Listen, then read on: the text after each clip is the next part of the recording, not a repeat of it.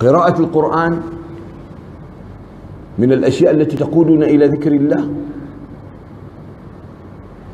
وذكر والذكر هو المقصود أن تكثر من ذكر الله سبحانه لأن الله سبحانه وتعالى أخبرنا في آيات متعددة أن هناك تفاوت أن هناك تفاوتا بين الناس في ذكرهم لله عز وجل.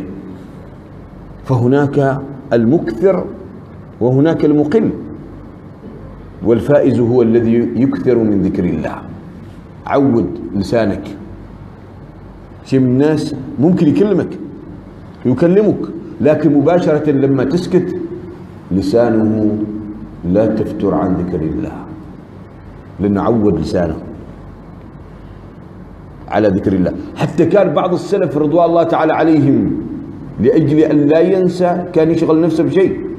حد منهم أنا ما تؤمر بذلك. ولا أقول أن هذا ينبغي. لكن أقول لك وصل بهم الأمر. بعض منهم كان يخلي حصاة صغيرة تحت لسانه. يعني تقول خلاص قرعها فلان خبرنا في الدرس والمحاضرة أن سوي إحصاء. خلاف يبلعوهن.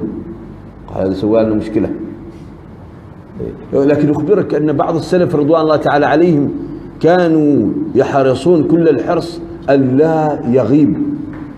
ذهنهم عن الله سبحانه وتعالى. وأنهم دائما إذا ما كان عندهم عمل شغل بدأ عن جالس كا تجده ما بين استغفار أو تسبيح أو تحميد أو تهليل أو تكبير لله عز وجل. لأنه يرى أن ذكر الله أعظم ولذكر الله أكبر. والله يعلم ما تصنعون.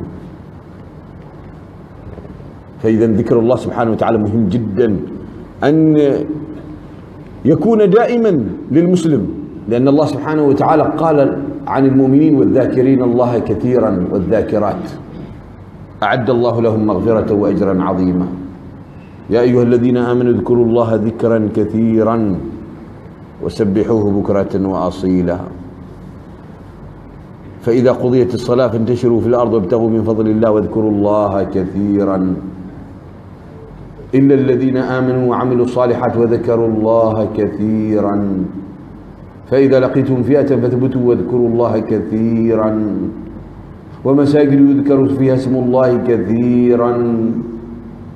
يعني آيات كثيرة. يخبره الله سبحانه وتعالى لقد كان لكم في رسول الله أسوة حسنة لمن كان يرجو الله واليوم الآخر. وذكر الله كثيرا. حد الكثرة؟ إنك تحس إنك لا يوجد وقت إلا وتذكر الله عز وجل. وأنه يرطب لسانه بذكر الله. جاء أعرابي إلى رسول الله صلى الله عليه وسلم. فقال يا رسول الله لقد كثرت علي شرائع الإسلام فدلني على عمل أتشبث به. أبا شيء أتمسك وأتقبض به.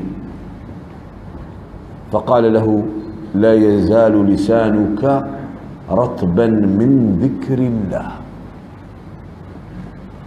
رطب لسانك بذكر الله يعني ما يقف اللسان. يمكن تي بس اللسان لكن المقصود ذكر الله عز وجل ما يقف.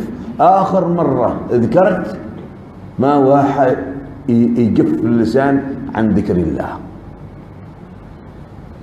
إذا يتطلب ذلك أن يكون دائما أن لا ترط أن لا يقف. ما يبس ما تتوقف عن ذكر الله عز وجل. لا يزال لسانك رطبا من ذكر الله عز وجل.